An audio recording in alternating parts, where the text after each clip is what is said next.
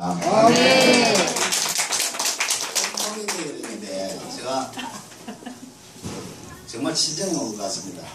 브런치 페스가 생기기까지 좀 많은 어려움을 저는 옆에서 지켜보고 있었습니다. 아멘. 같이 좀 하고 거기에 금방 이렇게 집에서 생긴 게 아니고 어느 한 형제님이 정말 집에서를 만들기 위해서 참 노력을 많이 하셨는데 저는 거의 조금 따라다녔습니다. 아멘. 기름값도 좀 들고 또 밥값도 좀 들었습니다. 저는.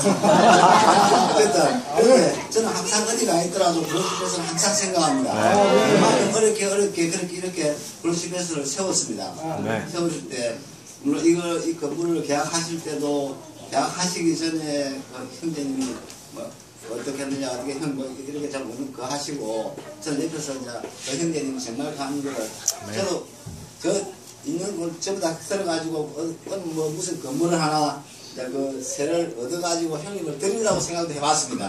그 형제님을 그랬는데 어쨌든 요 그런 집에서 생겨나서 저는 어디 가 있어도 그런 집에서 항상 생각 아멘. 참 이렇게 이렇게 집에서 가 이거 어, 참 장출되었습니다. 아멘. 감사합니다. 예수님 아멘. 주님을 사랑합니다. 주님을 찬양합니다. 아멘. 할렐루야. 여기 보니까 1128장에 보니까 음. 아, 두 손께 두 손목. 아, 주님 주께 두 손과 비나리 그로시페스를 정말 확장하게 해주시고. 번성게 해주시고 아멘. 정말 그로시페스가 참 어르시페스보다 더 번창하고 더 아멘. 확장되게 해주시기를 바랍니다. 아멘. 주 예수님 주님을 찬양합니다. 아멘. 사랑합니다. 할렐루야.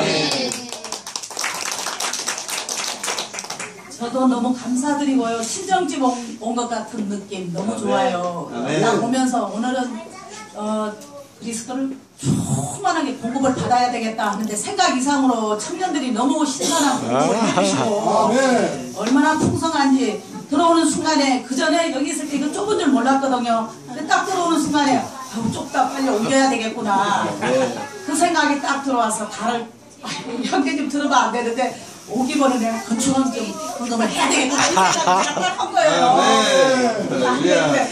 근데 이 지체들이 너무 젊어서 좋고요.